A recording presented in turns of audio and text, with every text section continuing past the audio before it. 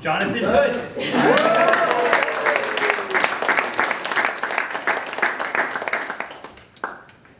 So our first session, Developing Successful Teams, will be given by our immediate past District Director, Sue Dalati. It, uh, Sue, I don't know what I can say about Sue that hasn't been said. Sue is an inspirational leader that finds people and supports them and hones their abilities and is someone in this past year who has provided me with a lot of support and feedback uh, to help execute my role. And I really look forward to working with you this year in your role as immediate past district director. Uh, and I know that she will support anybody here in the room who has uh, the need for, you know, a question, uh, some advice, uh, someone to listen. Uh, Sue will be that person for you and to help us understand how we can develop successful teams. Please welcome Sue Dalati.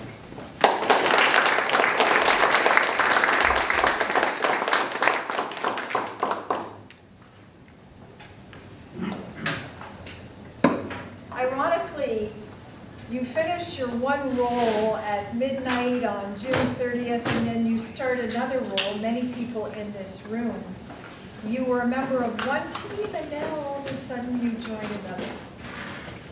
And knowing who those people are, how they work, how they function, what makes them tick, is really important for our success. Many of you may have been, had arms twisted to become part of this team. Some of you were keen and stepped right forward and said, I want to do this. And however you came into this role, we are very, very grateful. You have a number of support systems, one of which is a team that I am going to be talking about this morning. Basically, our session is going to cover four key areas. We're going to talk about what your roles are as area and division director, who the team members are that you work with. We're also going to talk about the agreements that you could come up with. Ron has asked that area and division directors create area and division success plans. The team agreement is part of it. We will go through that. We'll also talk about possible things that motivate people. I mean, we we as individuals are motivated in very different ways, and so are the people that you work with. And we'll talk about those. And then, as chances are, there could be conflict, conflict of you dealing with club people, could be conflict within your own team, could be conflict outside. We'll give you some tips to deal with that as well. The main objectives, these are the objectives that we hope that as this session is finished, this is what you will be much clearer on. If you have any questions, once this session goes by, it's an hour, you may not get everything, know that you are still supported and we will provide you with additional information. But you should be able to walk away understanding better what your area and division director roles are, how you are going to determine who's in the teams that support you, and how these teams, thank you, Mon, how these teams offer the support to you in your role. We'll also be describing what's in that team charter and what's in it for you to complete it looking at how good teams work and what makes a good team a good team. There are a variety of principles for motivation that are extremely important that we will be covering, and then some tips on dealing with conflict. Ron was good enough to provide each person a workbook that is on our Slack channel. If you want to take notes, feel free. You can put it right into your workbook if that's easier. Otherwise, you take notes as you see fit.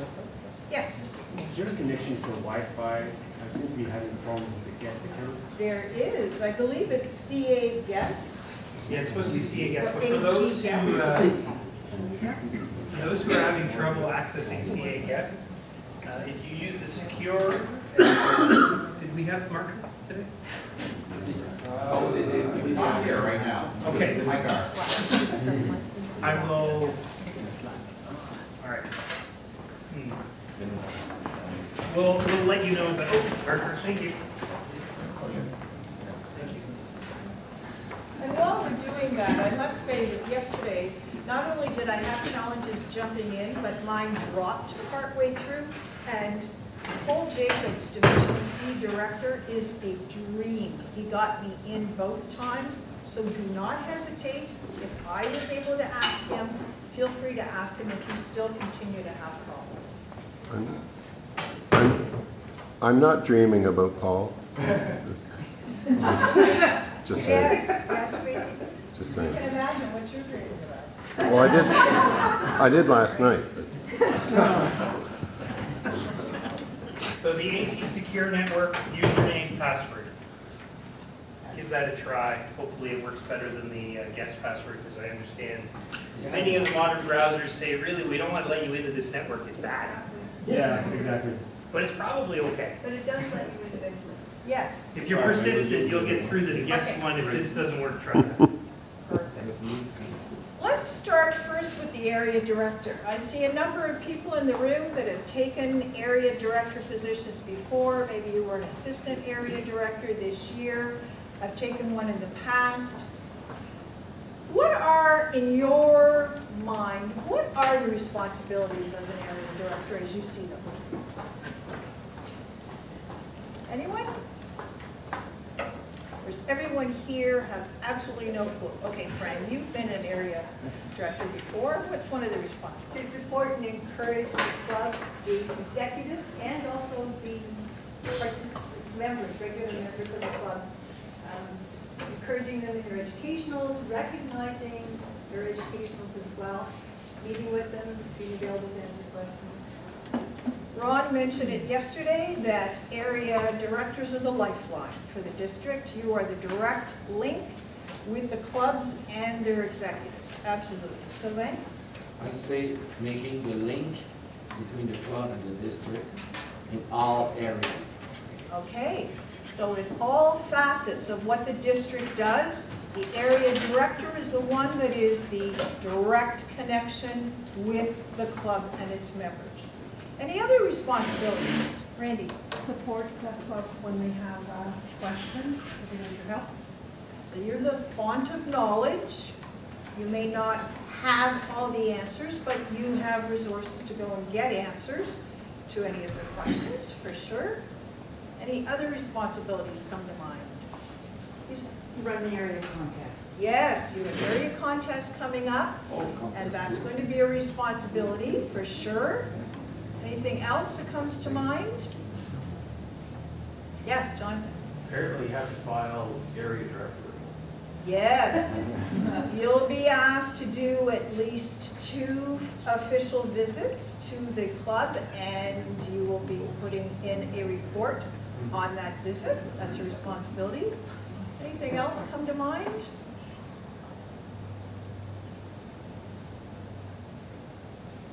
Now, what happens if some of these clubs are possibly less than 20 members, less than 12 members, maybe five members. Coaching, Yep.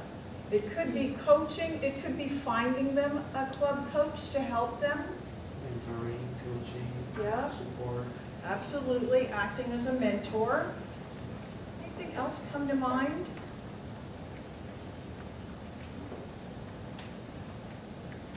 Yes? Also, there is another thing that we could consider is to uh, solve problems sometimes. Yes? Yes? Make a solution for a conflict or a sort of situation that could be uh, clarified, to be easier for everyone. Could very well be. At some point, when we get into the conflict resolution, we'll talk a little bit more about what the role really is of the area and division director. There are some fun things, though. There's some good things going on within the clubs, and you want to be able to recognize those, right? Can you think of any fun things that are going on? You may want to, yeah, I knew you'd think of it, Devin. There's some fun things that are going on. Well, it, it's funny, um, and I didn't realize this until recently. So clubs are contacting me to find out the area director to help in the, um, the, uh, cérémonie de, passation. Yes, Uh, So they, they Deletion, change yes. from um, leadership groups, club presidents? yeah, they could bring you in to install those new club officers. Yes. They could, let's say, recognize someone who has just received a level one or a distinguished Toastmaster, and they Yeah. want someone from the district to be there to join in. They could have potlucks, they could have Anything. anything going on. There are a variety of responsibilities. Now, you may find that a bit overwhelming, thinking, okay, I, I know when Ron passed me in the hallway and said that you possibly should consider being Area 12. He may not at that point outline every single responsibility, huh, Rob? I mean, we, we knew that eventually there would be training. Hey, you got an hour, right? You always negotiate for the hour. Exactly. So the, the thing is, you're not alone. That's the good news. And you do have a team, a team that's already built in and a team that you can augment to. And we'll talk about that. So your area team is what we call an area council. And the members of that team are as follows. For each of the clubs that are in your area, you should have a president, a vice president of education, and a vice president of membership. Those three members from each club form part of your area council. Now, you'll notice there are two that are listed here in yellow. That means that these are optional. Nobody says you have to have them, but knowing the number of activities that are going on within your area, I would strongly suggest you look to see if you can get a few more people to help. The first one is an assistant area director. They call it on the slides education, but in your workbook, it's assistant area director of program quality. And the other one is an assistant area director of marketing, but in your workbooks, they call it assistant area director club growth. Now, we had very quick introductions this morning, but Kimberly is overall responsible for program quality, and Tanya is responsible for club growth. So as the year progresses and you hear the activities that these two are doing in the district, they will be turning to area and division directors to assist them in delivering those programs. It only makes sense to me that you turn to others within your area council and get help for you to deliver on what it is you have to do. Now, what do you think an assistant area director of program quality could help the area director? Any thoughts there?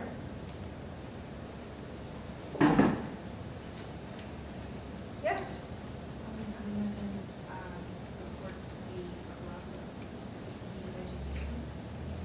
Yes, you'll, you'll support, but it, could you be a little more specific, Nadia? What, what support would you think?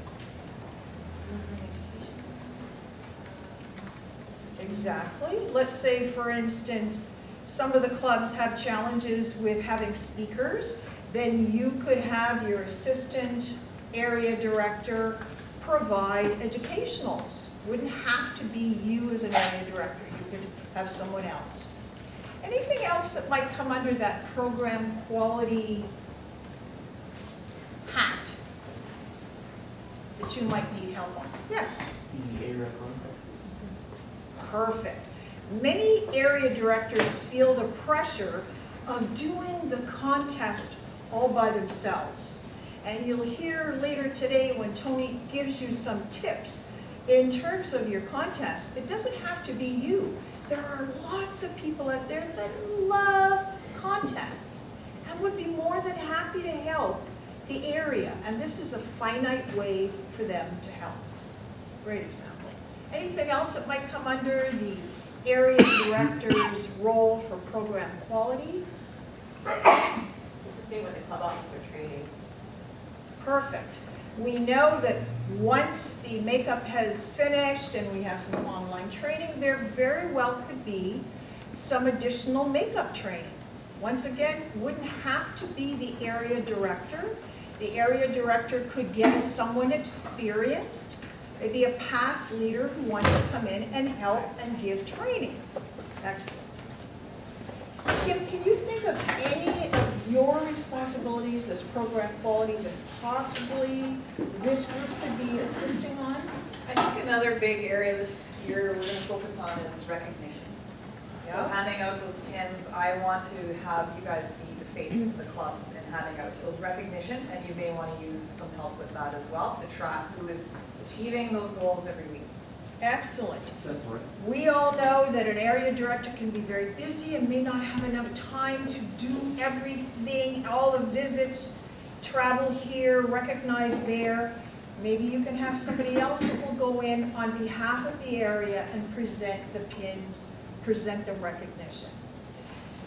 If there's one thing, the message that has been said so far to the division directors, and we want to encourage this with the area directors, there are so many activities that you're responsible for, but being responsible and doing them yourself is not the same thing. As long as you get them done, you can have all sorts of other people help you in that regard. Now, let's move to the division directors. Division directors have already been here for a day. They have had the benefit of listening to both uh, Tanya and Kimberly outlining what their plans, their dreams are for this year. As a division director, what are your responsibilities?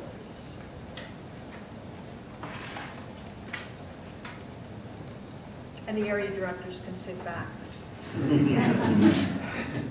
So division directors, what's your responsibilities? Randy? Managing uh, your team of area directors, keeping in contact with them to see if they need any assistance. Yes, exactly. So while you are the lifeline to the club, if you have any questions or concerns or really need to understand anything, area directors always have their division director, for sure. Anything else? Ibrahim? Euh, il offre aussi la formation au club des SLT. We, we, the division directors are the ones overall responsible for developing the TLIs. Kimberly is once again going to have a main point of reference for them, but they are the ones coming up with the content, the workshops, the speakers, the venues. Anything else? Yes? Division contests? Yes, just as we have area contests, we also have division contests. Yeah. Yes, Budget? yes, Budget. yes. You have to determine what their financial requirements are for the year and create a budget. Tanya? Uh, Taking the message of the district and passing it down and making sure that the area and the clubs are all, that we're all rowing in the same direction. Yes. Keeping in mind that at the district executive committee meetings, both the area and division directors are there hearing the message at the same time. But there will be other discussions that division directors will have that they'll want to share with their area directors to then share with their clubs. Anything else come to mind? Yes? Um, help build and support new clubs. Yes, yes. Now, when we talked about the- uh, club growth, that is something that Tanya will be talking a lot about this year. And both area and division directors can be implicated in many ways. If an area director knows that they are going to be losing a club, chances are they're going to want to see about gaining a new club. If the division director sees that there are clubs being lost in the division, they're going to want to get other ones in as well. Any other responsibilities come to mind? Yeah.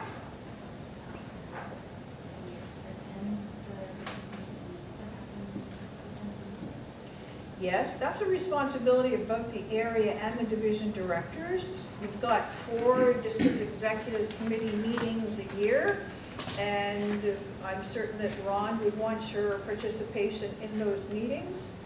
You also have two district council meetings a year. He would want your participation in that as well. Yes? Also the training for the area director and the support for area director in the past. Yes, that's a, that's a point that sometimes when Ron has indicated this is the mandatory training, absolutely, this is what Toastmasters International indicates that all area and division directors need. But you specifically could have additional training as an area director that you require. And you speak to your division director, they may very well have the expertise, or if they don't, they will see if they can get that training for you in other ways. We can never be trained enough in the areas that we need. Yes? Sue, when someone asks a question, can I get you to repeat the, the, the- the question just to ensure that we re, record it better? Okay. Yep, thank you. Craig just asked me if I wouldn't mind repeating. Excellent. Just a little test check. I heard ya. Yeah, just as the area council meet members have area councils, the division team has a division council. So division directors, your team is made up of each of your area directors. You'll also notice that there are two boxes there that are yellow. Those are not mandatory, but we would encourage you to find people for these positions. One is the, yes, one of them, now that says, that's interesting, yes. The assistant division director, although it says area director, I'm not sure why it would say that. No, But you- it's an you assistant. one of your area directors. It's an assistant division director for education or program quality, and an assistant division director of marketing or club growth. Now, what do you think an assistant division director for program quality could help you with? Heard what the responsibilities are. What could they help you with? As I uh, suggested yesterday, to help the VP education of each club to do their task with a better uh, knowing of all the aspect of their task.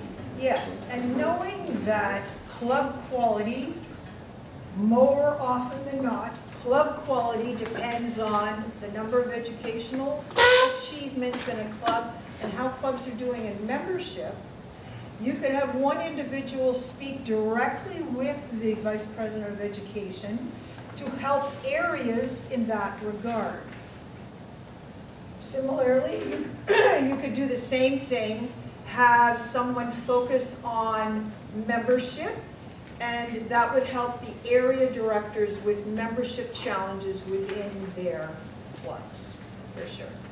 Anything else that an assistant division director could do in the way of education or club growth?